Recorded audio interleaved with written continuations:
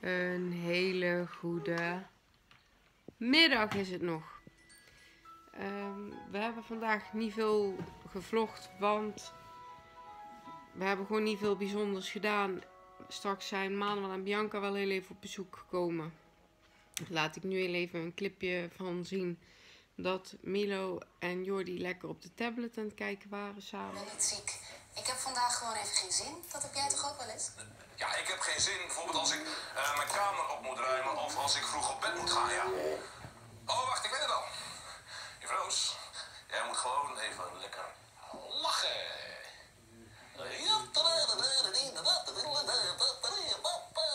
Eh, nu is Jordi ook op de tablet aan het kijken, want hij is hartstikke zagrijnig. Hij heeft vannacht gewoon heel slecht geslapen. En Niels is vanmorgen met Jordi naar het ziekenhuis geweest, het Radboud. En die gaat jullie heel eventjes vertellen eh, wat ze daar hebben gezegd bij de anesthesie. En wat ze gaan doen met zijn operatie qua anesthesie. Nou, ik ben met Jordi naar het Radboud geweest om even de anesthesie door te nemen. Hij krijgt een prik in zijn, eh, onder in zijn rug. Die prik blijft ook een paar uur na de operatie in werking. Zodat hij eh, verdoving heeft. Zodat hij eigenlijk geen pijn voelt. En ja, voor de rest zijn er eigenlijk geen bijzonderheden. Als je vroeg ook nog of hij een kalmeringspilletje moest hebben voor de narcose. Maar daar heb ik besloten om niet te doen. Want eh, ja, ik vind het niet echt nodig. Want Jordi is heel relaxed. Gewoon altijd. Met dat soort dingen. Omdat we ook altijd gewoon rustig naartoe werken. Dus. En als dat nodig is, kan dat altijd nog. Ja. Hij zit nou lekker daar. En hij heeft al voor papa gezongen. Want papa is jarig, hè? Jordi gaat denk ik eh, vroeg naar bed vandaag.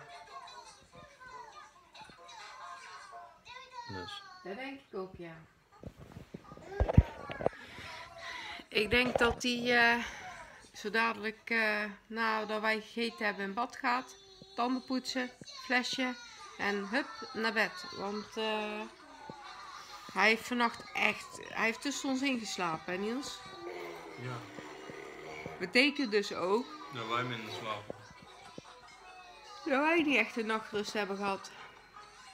Helaas. Dus ja, Dan gaat meneer ons liggen wakker schoppen en na zelf ligt de prins eerlijk te slapen. ja, maar dat zie je altijd met kinderen. Hij lag echt als eh, prins, eh, weet ik veel wie, in, in, bij ons bed zo tussen ons in, helemaal lang uit. En dan moet hij ook altijd aan allebei de armen, van allebei de handen, moet hij ook iemand aanraken. Dus aan de ene kant moet hij Niels aanraken en aan de andere kant mij. Dus dan is het ook nog zo dat je op een gegeven moment een nageltje voelt schuren of zo. Of knijpen ineens. Of... Ja. We gaan in ieder geval eh, hem straks lekker badderen. Enzovoorts, want hij is wel heel moe. Hij is wel moe, want hij is ook zeurig, hè Niels? Ja. Hij doet ook de hele tijd zeuren. Nou niet, maar. Nee, jou zit hier de Teletubbies te kijken. Te kijken. Ik ben er nou alweer ziek van, van die Teletubbies. Jippie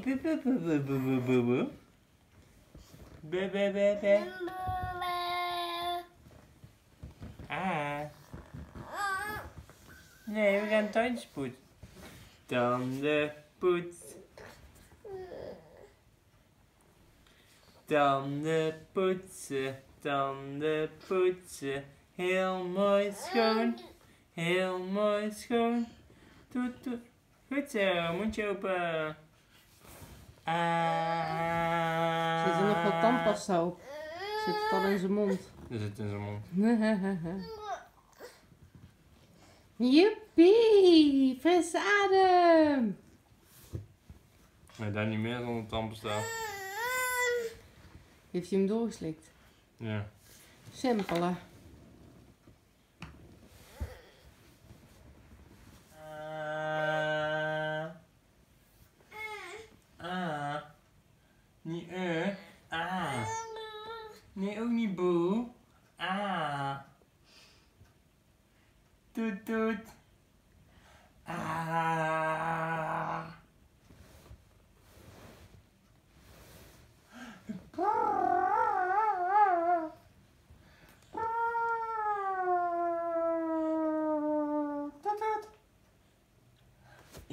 Ah. Ja, ah ja. Is het be, be, be? Nee, niet be. Ah. Toet, toet.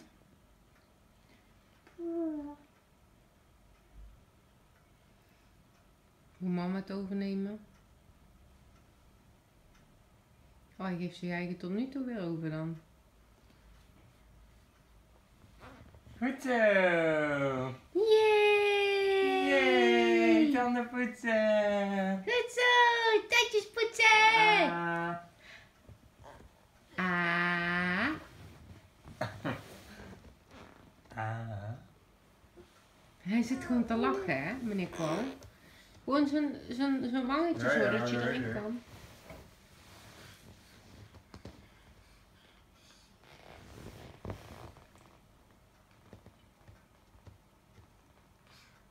Goed zo.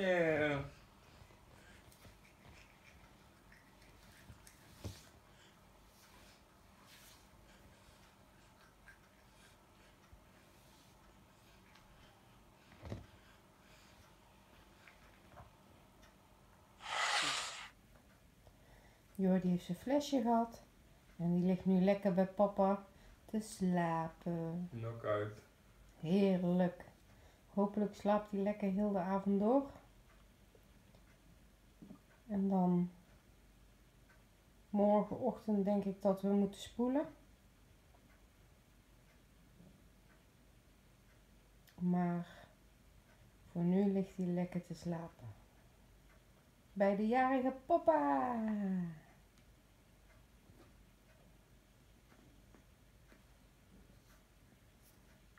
Ik heb zeven tandjes bij hem gepoetst. Ja, hij heeft er het zeven. Het gaat snel zo. Er komen echt wel ineens veel tandjes door. Mhm. Ja, nou drie. We hadden eerst vier. Dan zijn er drie eh, eigenlijk kort naar elkaar bijgekomen. Ja, want we hadden het niet in de gaten, maar hij zit, heeft zeg maar, bovenin heeft hij in een hele, Linksbovenin heeft hij een kiesje. ja, lijkt op een kiesje in ieder geval. Of het 100% een kies is, dat weten we natuurlijk niet, maar Hoezo, die zit op de plek van de kies. ja, maar ik ben geen tandarts, dus ik weet het allemaal niet, hè. Maar er zit een tand. Dus die moet ook gepoetst worden, hè. En joh, die vindt niet altijd even leuk om tanden te poetsen als hij moe is. De tandpasta vindt hij wel lekker. Ja, ehm, voor de mensen die het willen weten. Ik had eerst, we worden natuurlijk niet gesponsord of zo hoor, niet dat mensen dat denken. Maar we hadden, eerst hadden we Elmex. En die vond hij gewoon echt goor. Dat kreeg je gewoon echt niet naar binnen. Maar nu hebben wij deze. Fruittandpasta van de Kruidvat. En deze vindt hij eigenlijk wel prima. En ik had het er met de tandarts over gehad. En eh, ik zei, ja, jullie eh, willen natuurlijk dat wij... ehm, eh, dat wij natuurlijk met eh, een Elmex of zo voor kinderen poetsen. Ik zeg, maar ja, ik zeg, hij wil het gewoon echt niet. Dus toen zei ze van, nou dan gebruik je die toch.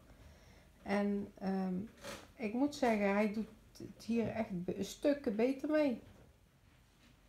Niels is ondertussen Jordi dus naar bed brengen, maar hij doet het echt stukken beter met die tandpasta. Dus ehm, voor ons is dit een uitkomst. Want ehm, ja, het was of eh, ruzie maken. Iedere keer ruzie maken. Want soms maak ik ook helemaal geen ruzie hoor met tandenpoetsen. Soms is het ook gewoon eh, eh, dat hij het gewoon allemaal accepteert. Maar bij die Elmex accepteerde hij het gewoon echt absoluut niet. Maar bij deze accepteert hij het beter. Hoe bevalt het je als 32-jarige? Ja, eigenlijk hetzelfde als gisteren. Ja, toch wel? Mhm. Oké, dan weet ik daar ook vast hoe ik me eigen zal voelen. Ja. Ja, ik, ik heb het probleem in november dat ik weer een jaar ouder word.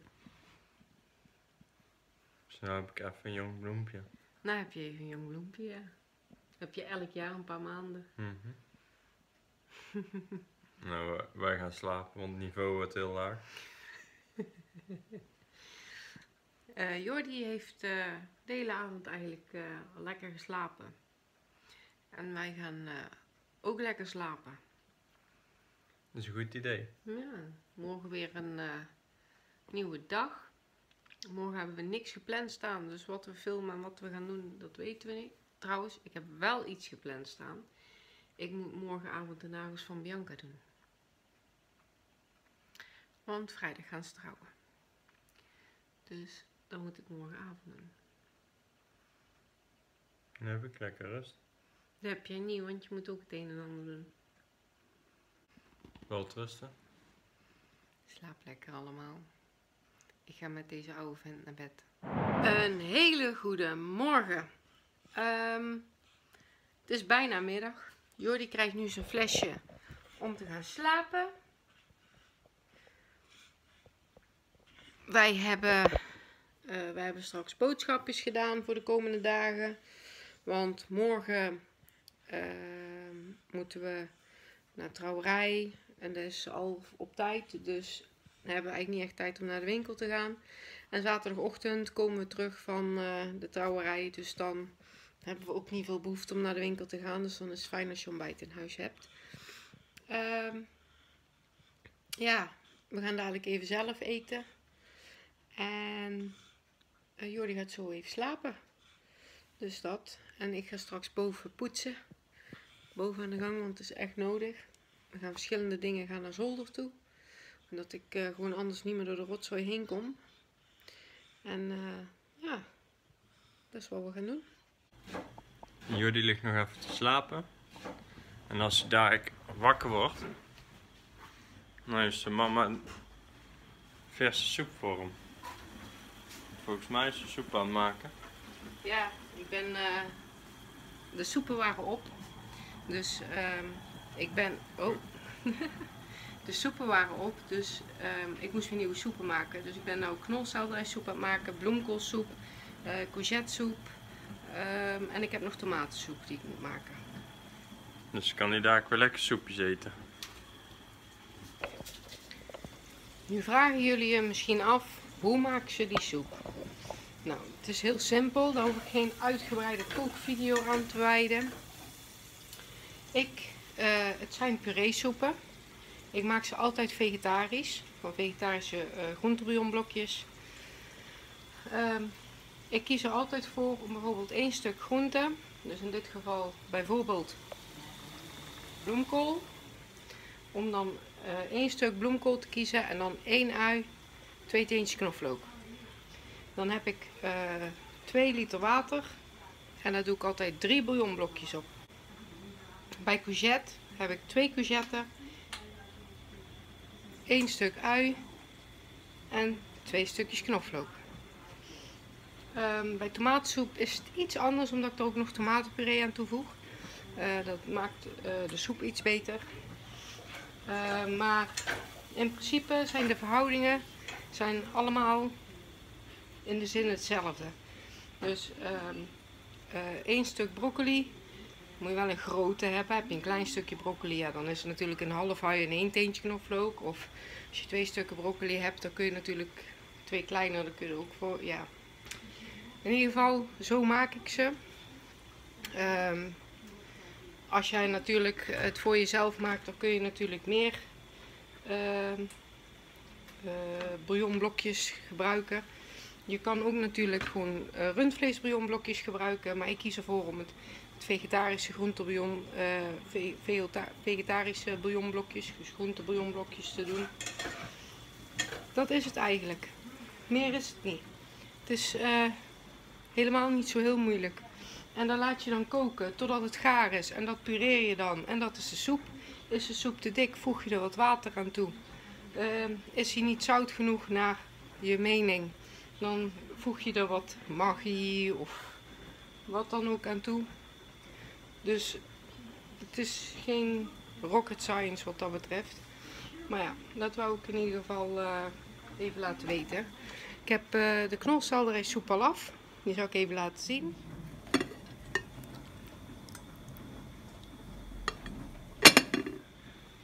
Die heb ik dus al af. Ik ben nu de uh, bloemkoolsoep nog aan het maken. En ik ben courgettesoep aan het maken. De courgettesoep ziet er zo, de courgettesoep ziet er zo uit. Dit is de bloemkoolsoep. Die is bijna klaar. Ik zal even kijken. Ja, die is bijna klaar. En het is gewoon heel simpel. En wat je als eh, vetstof kan gebruiken is gewoon olie of gewoon wat boter. Het is maar net waar je jezelf prettigst bij voelt met koken. Het is allemaal niet, eh, is allemaal niet zo heel moeilijk. Er is eentje pakken. En hij gaat nou van papa lekker soepje krijgen. Knolselderijsoep. En mama, die is al warm. En mama gaat boven poetsen.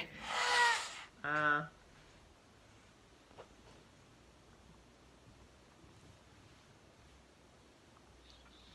Zo, Jordi krijgt lekker de fles. En dan gaat hij lekker slapen. Ja. Dan ga je lekker slapen. Net zijn zijn eh, oom en tante geweest. Vanuit Haarlem. Zijn even op de koffie geweest. Mama die is nou eh, de nagels aan het doen van Bianca. Voor de trouwerij morgen. Morgen hebben we een drukke dag. We gaan eh, eerst naar het stad, of uh, einde van de middag gaan we naar het stadhuis. Daarna naar de feestlocatie. En dan, eh, ja, na het avondeten dan eh, wordt Jordi opgehaald. En dan gaat hij bij opa en oma slapen. Dus. Ja, ik ga bed verder nog een beetje bank hangen vanavond. En dan, eh ja, wachten tot Mandy thuis is. Ik ben inmiddels alweer thuis. Nog geen ik heb geen foto's van de nagels, want dat is ehm, allemaal voor Bianca zelf. Ehm, ja, ik ben dus net thuis en we gaan zo lekker even eventjes nog wat eten, want we hadden niet zo heel goed gegeten. En dan eh, gaan we dadelijk lekker naar bed. Ehm, trouwens, bij deze sluit ik de ups en down alvast af. Ehm, en wens ik jullie alvast wel rusten. Slaap lekker, ook namens Niels.